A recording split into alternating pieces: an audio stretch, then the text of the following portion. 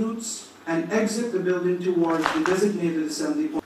the technology uh, in the in the uh, connectivity when we were students uh, for inviting me to, and giving me this opportunity to talk to you.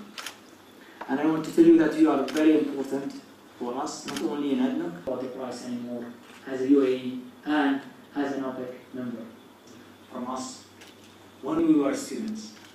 And the some companies require 70 to 80 dollars and it's produced today because the price is it's mix. So let's take let's say We'll talk after I explain the international, we'll go back to see what is the to build pipelines, investments. It's a mix. Or we will re-inject it. Yes, we don't care. We just want to get the condensate. Don't care about the price anymore. Whether it's shale, not OPEC countries, not the Arabs, the others, primarily United States, definitely much more than the expectations from us when we, are, when we were students.